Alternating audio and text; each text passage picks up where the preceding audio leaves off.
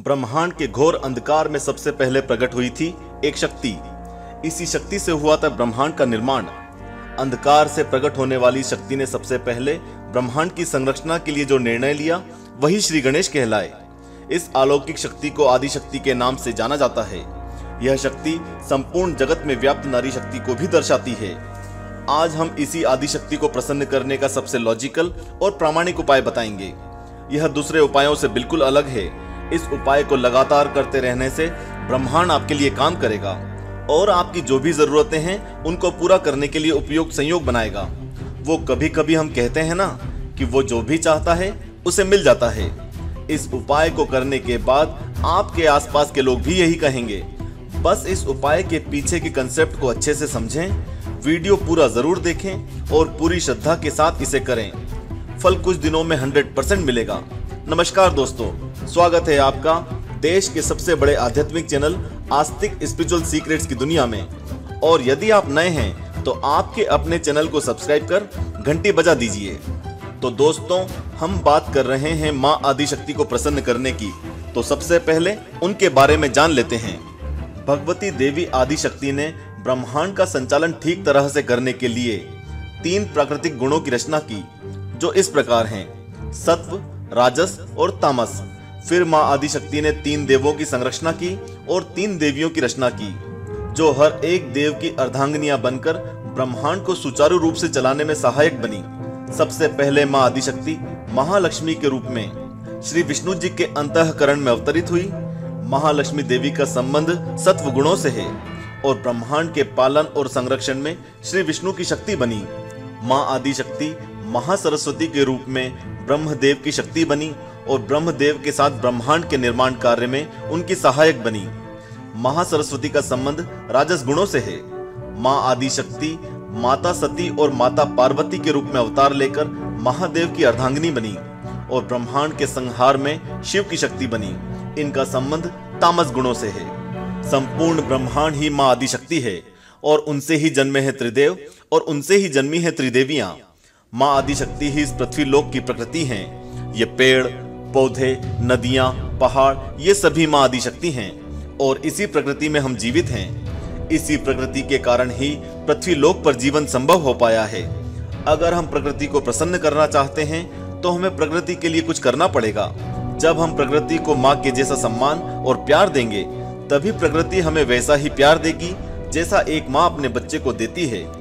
प्रकृति सबके लिए समान रूप से प्यार देती है आपने कभी प्रकृति को पक्षपात करते नहीं देखा होगा। लेकिन जो लोग प्रकृति को बचाने, उसके संरक्षण के लिए काम करते हैं और अपने मन में प्रकृति के लिए अपनी माँ के जैसा आदर और प्यार रखते हैं, उनके जीवन में प्रकृति ऐसे संयोग बना देती है कि उनके सभी काम होते चले जाते हैं और कभी कोई दिक्कत नहीं आती।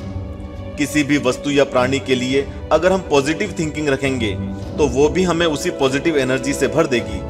और देखना उसी पॉजिटिव एनर्जी के कारण हमारे सभी काम बनते चले जाएँगे।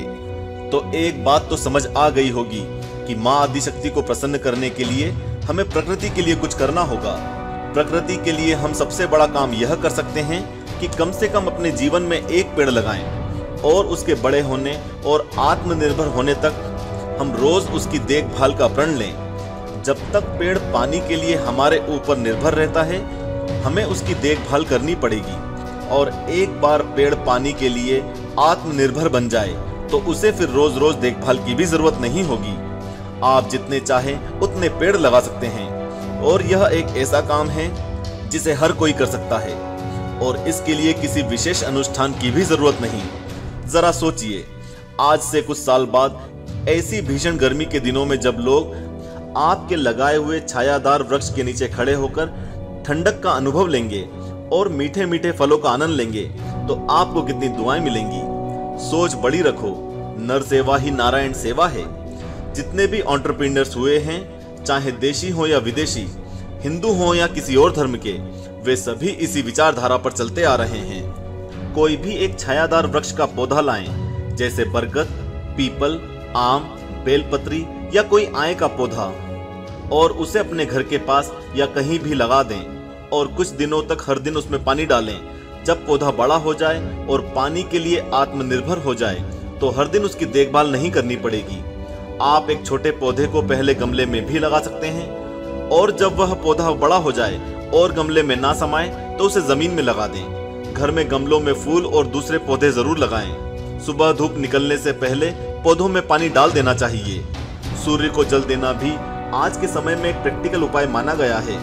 जिससे ब्रह्मांड की ऊर्जा को हम अपने अंदर समेट सकते हैं। सूर्य को हिंदू धर्म में देवता माना गया है और सूर्य देव प्रत्यक्ष दर्शन देने वाले देवता हैं।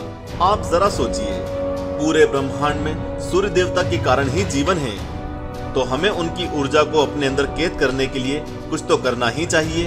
अगर सूर्य को जल अर्पित नहीं कर पाते हैं तो घर से निकलते समय सूर्य देव को प्रणाम कर अपना दिन अच्छा बीतने और सभी काम बनने की प्रार्थना करें। चंद्रमा की रोशनी में कुछ देर बैठें। रात में छत पर भी कुछ समय बैठकर आप चंद्र देव से आशीर्वाद प्राप्त कर सकते हैं।